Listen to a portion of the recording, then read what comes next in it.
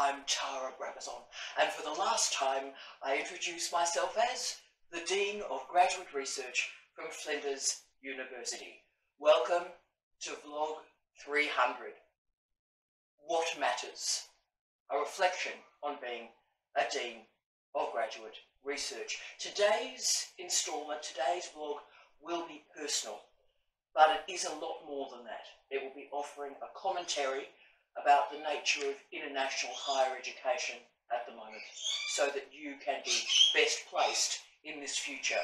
And I know it does feel like the end of the world at the moment. Catastrophic events are emerging in higher education. But we, as scholars, have some choices to make. We can bow to the lies, the deceit, the narcissism, the confusion, the fear. We can sustain this mode of scholarship, the power plays, the rubbish. We can make a decision to be part of that story. Or we can make a different decision.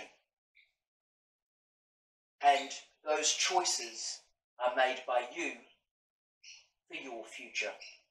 But for the last time, I will offer Tara's 10 tips for what matters, what I've learnt from being a Dean of Graduate Research. And this role has been an absolute privilege for me to assume. I have been and remain incredibly humbled to have accompanied so many remarkable students and supervisors on their journey. It has been a privilege to know you and a privilege to see the research that you've created. But this series finishes pretty appropriately in my backyard. Now you've seen it before because this backyard has been the setting for some of the more challenging moments of our vlog series, particularly through the pandemic. And it's interesting because we finish in our backyard, but the first vlog was recorded in our lounge room in Bathurst and New South Wales before I took this job. And when I say our lounge room, I mean my beloved late husband, Professor Steve Redhead. We talked about this series and in Bathurst, and he was always the first audience for every single vlog up to vlog 101 the digital doctorate. And Steve died three days after that vlog was recorded. But he said to me as one of his last statements, that was a great vlog, you need to write that up in the literature. And Steve, I did, so this one's for you. But as Steve and I were pondering our move to Adelaide six years ago, I was gathering up some research and some evidence about higher degree students at Flinders University and I saw some remarkable trends, some very odd and interesting sociologies. I saw six years ago that the average age of our higher degree students was then in the late 30s. I went, wow, now it's actually 40. So well over 50% of our students were women. And quite importantly, in the last five and a half years, the trans community, the non-binary identifying colleagues have offered me and have offered Flinders University and the Office of Graduate Research profound advice to ensure that our systems are always safe and welcoming and enabling for you and your research. And I thank you for your good counsel. And I should also thank our gay, lesbian and bisexual students who always make sure and again offer me incredibly significant advice to make sure that your pathway through research is both profound and meaningful. Thank you all. But I also saw that one third of our students were part-time. One third of our students lived outside of South Australia. And the oddity was they, they lived outside of South Australia, but they mainly lived in regional areas of Australia. And probably following on from the high proportion of part-time students, most of our students were not on scholarship. Wow. Now, this, I thought at the time, was an incredibly unusual profile. And as my research has continued in international doctoral education, I've discovered that Flinders was actually just a bit ahead. What is our sociology, what is our student cohort, is actually the future of doctoral education. Young people from school who enter an undergraduate degree and then honours or a capstone program and then go into a PhD is a very, very, very small number part of our community. And you see, that's the myth of doctoral education. Governments and universities want you to believe the big lie that the PhD programs are filled with young people just from their undergraduate program. And that's not only wrong, but it's actually a dangerous assumption, a dangerous myth, because it means we're not creating proper policy for the proper future of the remarkable colleagues joining us. So once I realised this profile for doctoral students, the question then became, why are we focusing all our attention on analogue support, face-to-face -face support on a campus in Adelaide during office hours, when the bulk of our students are not there in Adelaide, and the bulk of our students are, of course, with caring responsibilities or working full-time. So most of our students during the working day are a long, long way away from an Adelaide-based campus. Therefore, I thought, what are we going to do here? So I used all my work on online learning from the last 20 years or so to realise that probably this weird, interesting, emerging mode of communication, the vlog, might provide an answer. And the vlog had some advantages. So our students around the world could see their dean. They could have a little bit of fresh content on an interesting idea or topic each week. And that's great and that's important and it could be delivered so they're on a commute and they could hear the content, they're doing the school run and they could hear the content, they're going for a walk, they're exercising. So this content could fit in and around their lives. And I also wanted, right from the start, the diversity of our students to be seen. So there is an important slice of these vlogs where I am talking with students. And that was done meaningfully and intentionally. I wanted you out there high, from all your diversity. I wanted you to know that you are not alone. You are never alone. So this series was created for, for Flinders University students, with particular attention to our regional students, our part-time students, and our international students. And quickly, very, very quickly, it became a lot bigger than that. I really constructed this vlog series for two people, Heather and Mel. Hi Heather, hi Mel, in Tennant Creek. And if Heather and Mel got something out of this vlog series, then it was worth the time. And I can report that the wonderful Mel is about to finish, she's very close to finishing her doctorate now. We're so proud of you, Mel. And Heather completed her thesis last week. She's graduated. Well done, Heather. But instead of Heather and Mel, which of course were always my primary markets, uh, millions of you, millions of you have, have watched these vlogs. From a small woman in a small university, in a small city, in a small country. and I remain completely humbled completely humbled by that knowledge. But there's something wonderful about us joining together and enacting this wild experiment in educational media. And the goal of that experiment was to breathe social justice into doctoral education. And I also wanted the vlogs to be responsive, so I activated my 3Ds, digitisation, deterritorialisation and disintermediation to build up new communication systems and community building for you all. And I wanted to confuse the categories of just-in-case training and just-in-time training. I wanted to confuse all of that and create interesting content in odd ways. And when I say interesting content, that's because the overwhelming majority, I'm talking about about 95% of these blogs, came via requests from you. You would send me a message, I would go away, read the refereed literature, see what's going on in international debates, and then produce a vlog to order. So if you think about it, no one else has really been involved except us. You, me, that camera, that tripod, an SD card, and these cards. And that little package has sort of followed me around the world, from the University of Macau to the University of Manchester, from Paisley in Scotland to the Umpherston sinkhole in Mount Gambier. So this series became much more than an exchange in content. We survived a pandemic together. We have created a vlog every single week for the last five and a half years. There has never been a break in this vlog series.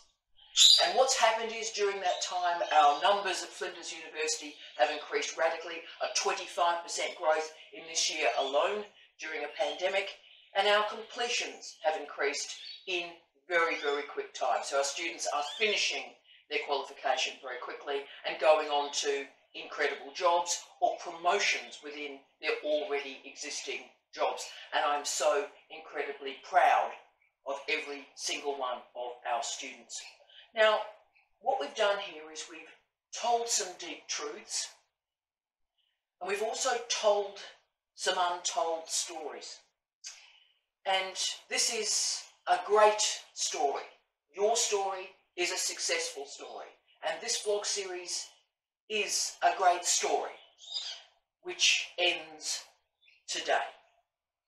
Your next dean will create another story, a new story, a brilliant story. And I hope that you will also support and be part of that new story. So, we finish in the backyard. there was the focus of the vlogs during the darkest times of the pandemic. The first half of these vlogs was recorded, recorded in my workplace, the second half around my home. And if you think about it, that's sort of been the trajectory of the last five and a half years. And of course, when I say our backyard, I talk about the remarkable person, the greatest gift that's ever happened to me in my life, which is meeting and marrying the wonderful Professor Jamie Quinton. He has breathed new life force into me, and we're about to undertake our next adventure together. But today, for the last time in this vlog series, I talk about Tara's 10 tips of what I've learned from being a Dean of Graduate Research, or put more precisely, what matters. What have I learned from this job? What have we shared? What can I share with you to enable your future? Let's get into the 10 tips.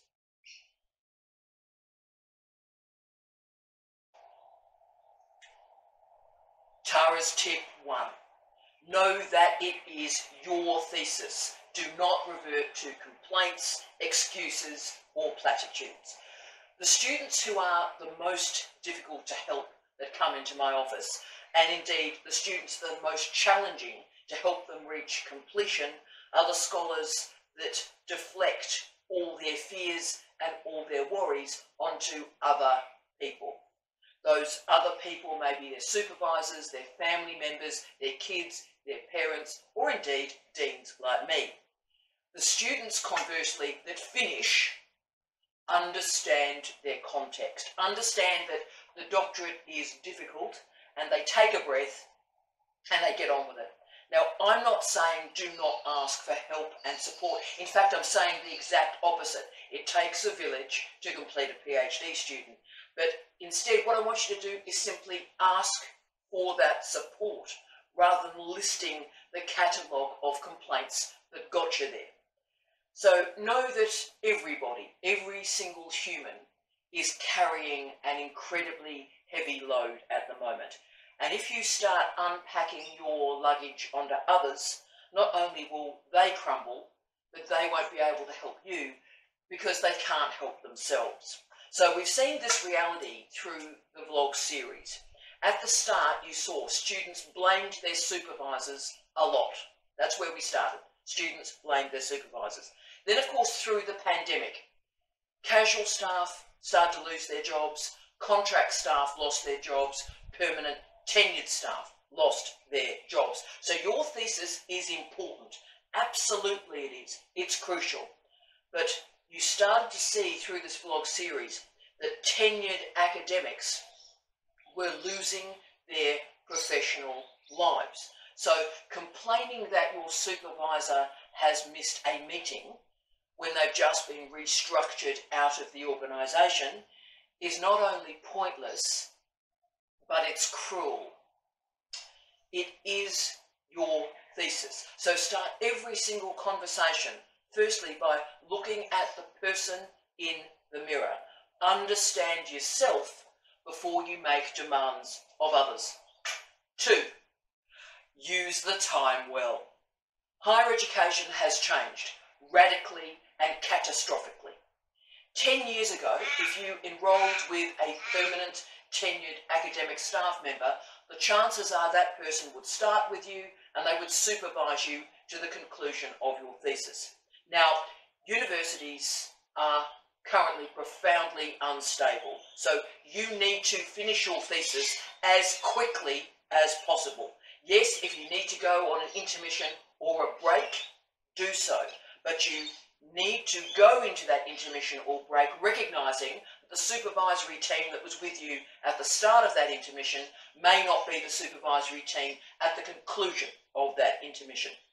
So, therefore, make the first year count. Make every day, every single day, a step to your completion. It may be half an hour of reading, it may be checking your endnotes. But the university system, and indeed your supervisors, are not going to be able to wait for you to finish the PhD.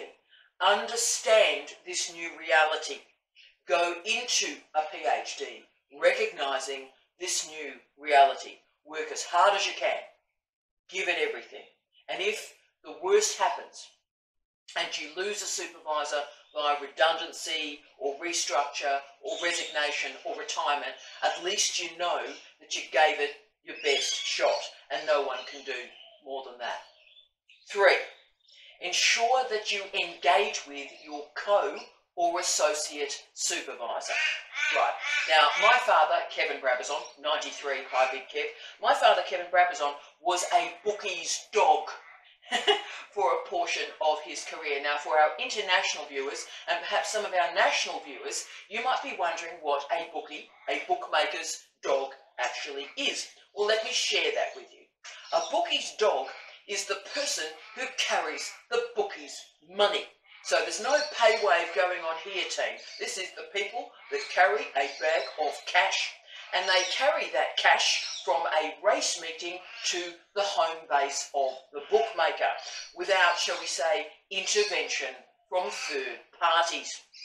Now, what I learnt from being the daughter of a bookie's dog, and indeed the daughter of a man who worked for a professional bookmaker for a large slice of his career, is that you need to read and understand the, the odds of your life.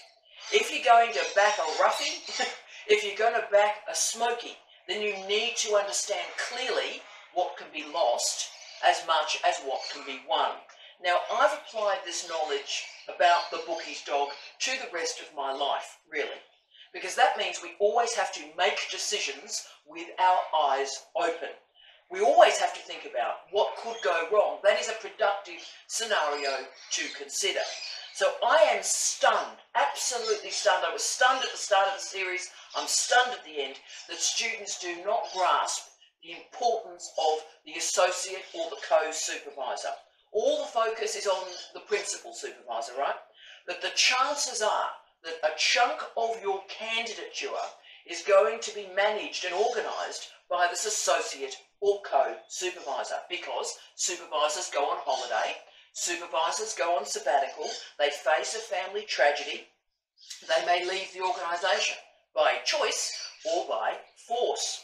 Therefore, be a good bookie's dog. Bet on the favourite, bet on your principal supervisor, but also bet on those supervisors that might get you a place in the race and indeed might get you home. So spend time working with your co or associate supervisors. Keep them in the loop. Keep the communication system operational. Because that roughie that you added to your supervisory panel at the start may be the one person that is going to get you home. Four, do not romanticize our universities. Oh yeah. Now, students waste a lot of energy expressing rage or anger at what they think universities should be doing for them. Now, this vision of higher education is based on a reality that has never existed. Up until very recently in the history of our universities, the people who attended higher education were white men from the middle and upper classes. Full stop. So we cannot compare this university with the current system that is post the widening participation agenda in the late 1990s. You know, this that former system was an elite, closed system. So white men have dominated our university systems, and they've dominated particularly our doctoral programs. Indeed, in the United States, women were only the majority of people in a doctoral program in 2017. And why that's such a surprise is, of course, women have dominated undergraduate programs for the last 20 years. So this meant that the doctoral program was, is, was the last bastion of male achievement. And that male achievement was based on a heteronormative marriage, where the woman would run the rest of the man's life while the bloke developed the research career. If you think about how postdocs have operated until very, very recently, the male scientist would be appointed and the partner and perhaps children would simply come along for that journey and no care was dealt to the family. It was about the male postdoc and his development. So to this day, the complete lack of spousal policies in most nations' universities show that the whole system is geared to a, appoint a man and know that that man will be supported by a spouse who will run the rest of their lives. So seriously, don't romanticize these old days of higher education. The overwhelming majority of our populations were excluded from universities for the bulk of their history. And if you think about it, therefore, the bulk of the population paid their taxes that allowed the elite to go to universities and sustain and increase their personal power. So the idea that our universities currently are being attacked, demeaned, marginalised and underfunded at the very point in history where Indigenous and First Nation colleagues are attending, the working class are attending, migrants and their children are attending, sexually diverse communities are attending, diverse ages are attending, and yes, women are enrolling, really tells you all that you need to know. At the point that actually the bulk of the population can go to university, that's the point that higher education is underfunded. Yeah. So remember that universities have never been fit for a democratic purpose. Universities are not democratic organisations. They were and they are designed to increase the power of the powerful. So as you move through these systems and structures, always remember this. You are going to have to translate, modify, restructure, create workarounds to make this system work for you. Five, remember the privilege of research. Now, during this vlog series, I've told a lot of the darker truths of dark academia. But I've also talked about money. I've talked about coin a lot. And I've talked about getting a job and how we actually build a life in and around our universities. But one of the most common words I've used in this vlog series has been the word privilege because we live in a culture of complaint. When in doubt, complain. Thesis, hatement, quit lit, and all those really nasty blogs that attack doctoral education. Now, it does not have to be this way. If we come to doctoral education recognising the privilege of this enrolment. Remember, only 1% of the world's population has a PhD. How many people in their entire life ever have a chance to focus on themselves and personal and professional development for three years? How many people ever in their lives have an opportunity to develop knowledge? Wow. You see, most of our lives are about sacrificing our lives for other people. To earn a living, care for other people. Rarely are we ever able to focus on ourselves. Life is just not like that. But a PhD is that moment. It is yours. It is your degree. So few humans walking planet Earth have a chance to enrol in a PhD. So ignore those agro crew that have done a PhD and then start to draw up that drawbridge to stop you from enrolling, trying to make you feel worried about this enrolment. Value the great gift that you have been given. Six, motivation is not enough unless it changes your behaviour. Motivation is an incredibly important part of any educational experience, and that includes a PhD.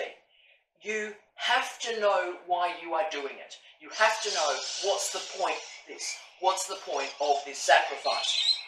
But students can be motivated and yet still stuck in their degree because it doesn't result in changes in their behaviour. So let me explain. I, see so many students that are motivated.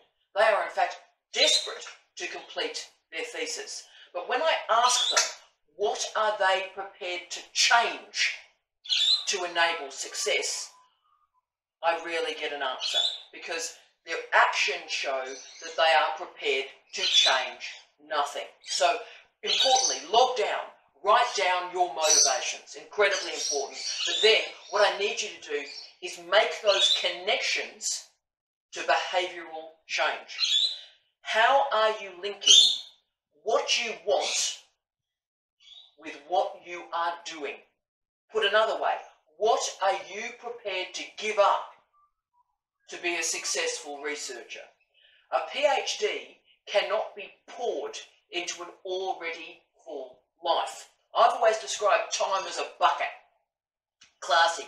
And if the bucket is full, then a PhD can't be poured into it. So if you want to complete a PhD, then your life must be changed around it. Not everything can change, not everything should change. But the PhD requires space in your life and indeed time. Seven, recognize the profound selfishness of academic publishing. Now, most complaints that I receive from PhD students from around the world involve publishing and authorship. There's publishing and authorship, and then a gap, and then a gap, and then a gap to the next tier of complaints. So this is the big one. And there is no doubt that publishing is a, the key problem for higher degree students. But can I say, publishing is not just an issue for our students. It is an issue for all researchers. We are currently living in a crazy system, a crazy system that is made worse by Scopus and Google Scholar. Let me tell you about this.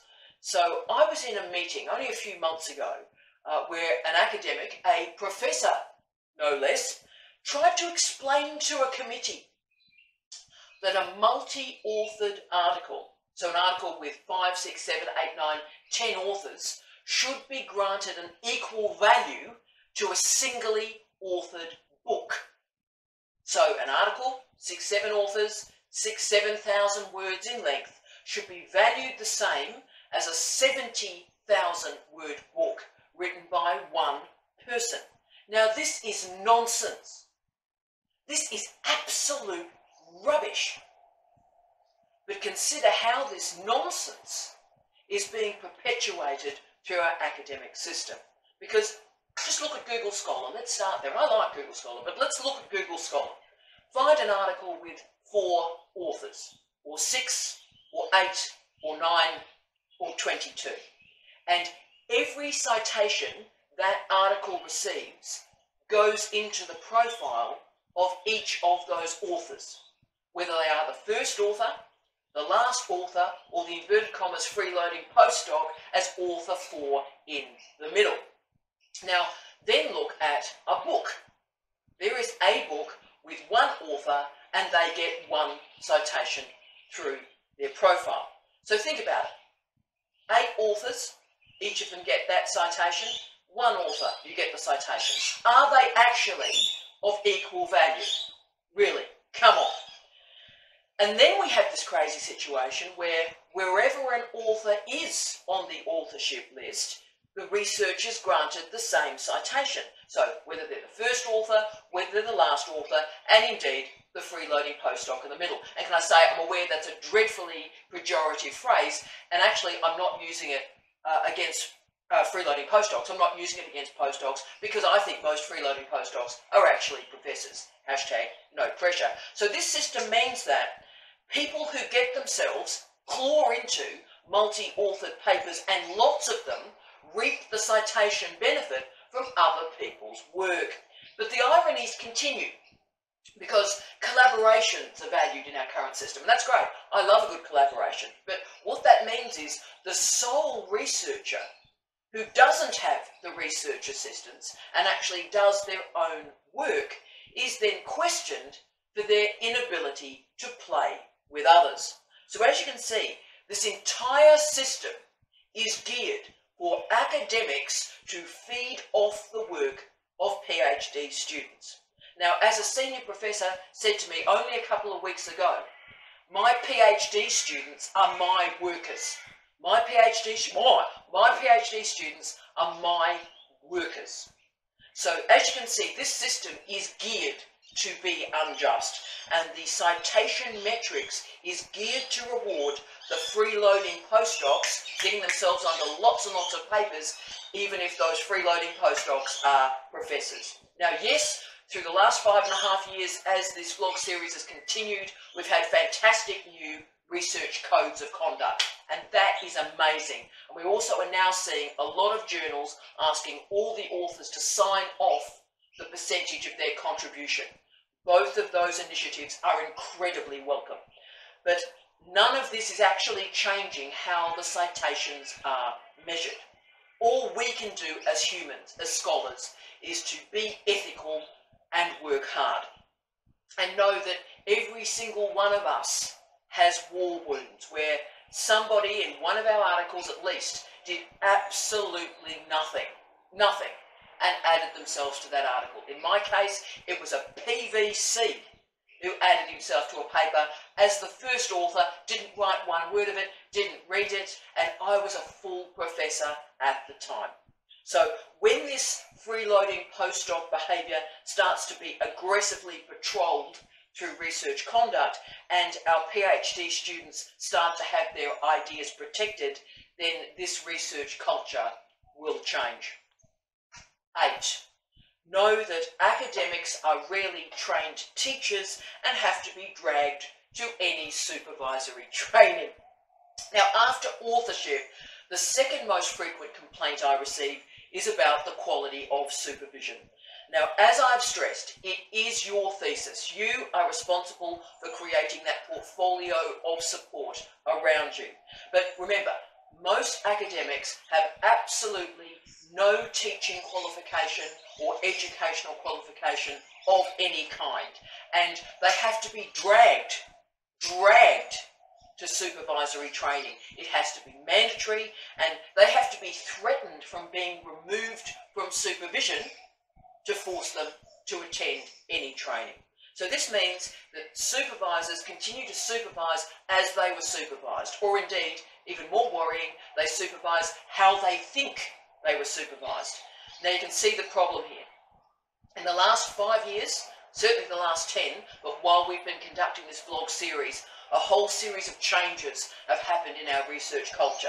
Firstly, a much more robust discussion about sexual harassment, sexual assault, and the importance of separating out personal and professional lives. Also clear guidelines for authorship, through the Research Code of Conduct. We've got a sharpening of ethical guidelines, particularly with regard to uh, work with Indigenous colleagues and Indigenous communities. Co-design is much more important here, so research ethics with Indigenous and First Nations people, that's a big and emerging area. And also the increasing diversity of people in our doctoral programs. So you can see what's going wrong here. If a supervisor through their career has almost only supervised young men on scholarship, then they simply do not have the andragogical ability or the multimodal ability to know how to engage with diverse groups and cultures. So I remember uh, recently uh, a supervisor called me a series of relatively provocative names at a public meeting. He was very, very angry uh, that he was being asked to do supervisory training because he's fabulous. And because I'm not fabulous, he used a lot of language about how I'm not fabulous. And it was up to me in this public meeting to quietly explain to him that the majority of our students are women and our students start at Flinders University at 40 years of age. So at that point he got a bit quiet, and I know why because all of his students had been these young men straight out of an honours program and on scholarship. So that meant he could supervise them as he had been supervising in the past. But as honours numbers are dropping, and they are dropping, and as public funding for education and scholarships decline, that past of a PhD program is not our future. Therefore, when you are thinking about a supervisor, when you're thinking about selecting a co-supervisor or an associate supervisor, ask them about their attitudes about professional development for you, but also for themselves, and check out their profile. It's very, very important that outstanding researchers supervise you. That's not even in question. But just because somebody is an outstanding researcher does not mean that they can teach you how to be an outstanding researcher because teaching and supervision are skills in form, not content. And unless supervisors are a master in form, then they can't actually convey or communicate their content. Nine, focus on your present. You've heard me say so often, focus on your present. The best PhD students I always say, give me a good day. They just give me one good day. And then they get up the next morning and they give me another good day. The past is gone, let it go. So give me a good day today. Get up early. Give me an hour of power and work today when you don't feel like it. In, in fact, particularly on a day you don't feel like working, work hard. And that is what creates a successful PhD. 10. Be realistic about the future. Dear friends, dear friends, we are in for a tough few years. As this pandemic ends, we are entering an interregnum. An interregnum is an in-between time when universities are going to have to work out what they are. What's the point what do they do? This is also, this interregnum is also the context for what Jean Baudrillard described as the double refusal. This is important, the double refusal. This phrase refers to the refusal to lead, but also the refusal to be led. What that means is the leadership in so many universities around the world showed themselves to be lacking through the pandemic. And because the leadership has been so poor in our universities around the world, the results have been catastrophic to higher education. The leaders didn't lead, and then the followers, recognizing the complete incompetence of the leaders, stopped listening to the leadership. Now, the result of this double refusal was and is chaos, restructures, and even more worrying than restructures is a complete loss of faith or understanding in what a university is and what a university can be. Now, this state will not last forever. It's an interregnum. But you have some choices to make. You can give up on our universities or you can rise to the challenge. Work hard on your research, commit deeply to professional development, and give yourself the task to learn something new every single day. Learn how to teach, please. Learn how to supervise, please. Read research codes of conduct. Make a pledge to yourself and others that you, you will not be that freeloading postdoc on other people's papers, that you will care and support and nurture the research of others. And most importantly, be kind. Don't bully. Don't ridicule. Don't confuse. Don't frighten. And that includes disrespecting your supervisor because you never know what another human is experiencing. For example, let's think about us, what we've shared in the last five and a half years. In the last five and a half years that we have shared, uh, my husband was diagnosed with pancreatic cancer. I was the only carer for him. We were alone in the city. We'd come to do this job. There was no family, no friend support, and I was in full-time work on a contract. And I was caring for a man that was my whole world. And then he died. And I was alone. And when the person you love most in the world dies, most of you dies with them. So I had to work out how much of me is left. And so I made a decision, look, let's just get up the next day and work a good day. Keep supervising these wonderful students, keep writing. And during these five and a half years, I've supervised 51 students to completion, produced 52 articles and book chapters, and yes, three books. And of course, I was also then able to share my life again with an astonishing human. So during these five and a half years, we've all then shared my remarriage at this impossibly old age. And uh, one of my students, the legendary Mick Winter, died. Mick, thinking of your brother. And my other students had profound sicknesses, miscarriage, confronted racism and homophobia of an incredible degree. Now, that was my five years of my, my life, bizarrely documented through this vlog series, which has sort of become this accidental autobiography uh, in weekly installments. But this was a story that we shared in the last five years. Think about your story in the last five years. So before you trash somebody, before you abuse somebody, consider the heavy backpack of grief and loss and fear that that person may be carrying. And come to this moment with care and with decency. Deep listening is so much more important than talking. And self reflection is so much more important than ridiculing others. Create strong relationships with your supervisor, with your co-supervisors, with your colleagues and peers in the lab and in the department. Because in the end, in the end, these stories are all we have. I thank you all for sharing your stories with me.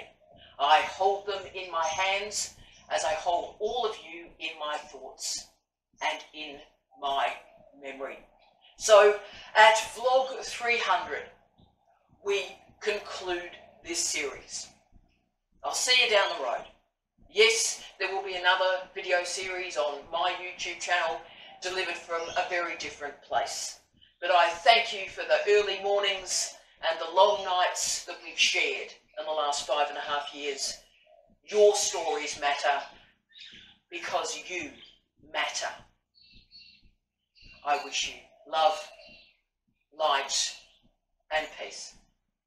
For the last time, T out. Cheers.